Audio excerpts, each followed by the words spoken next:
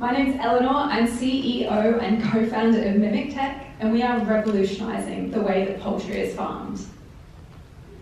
The idea was come up with by my co-founder Sarah, who has a background in agriculture and animal health, and spent 15 years working on an exotic bird farm.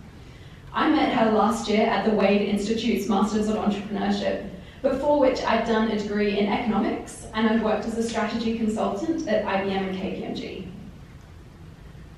The problem we're looking at is that Australian poultry farms have to double productivity on their farm every 15 years to stay profitable.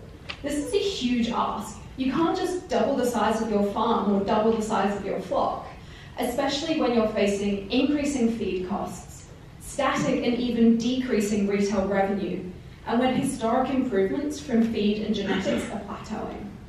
So the next horizon for productivity improvements is process and environmental enrichment. So we've developed a physical infrastructure product that mimics core features of maternal care for chicks on commercial farms. Or for the layman, we're building robot chickens.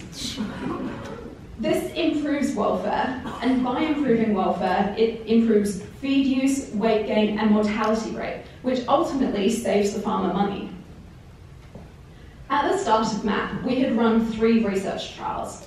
We've now run eight research trials. We've had a product impact with 100 chicks. We've now improved the lives of 55,000 chicks. In terms of market access, at the start of MAP, we'd run one on-farm trial, we've now run four. And those four farmers unlock 50% of the Australian market for us. A company, at the start of MAP, we had one provisional patent. We're now on our way to having a second. And we've raised $100,000 in funding. Now we've raised $500,000 in funding, and I'm really excited to announce tonight that that includes a $200,000 accelerated commercialization grant, which we heard about last week, which is incredibly exciting.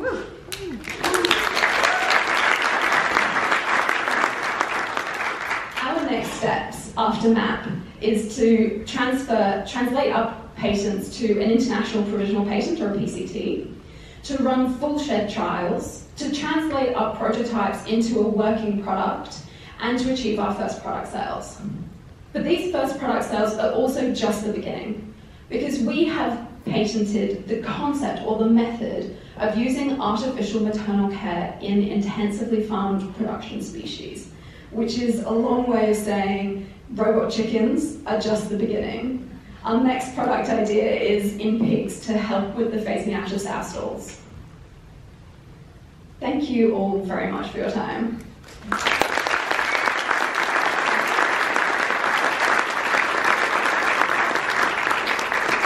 I would now like to introduce Alex from Breckfire.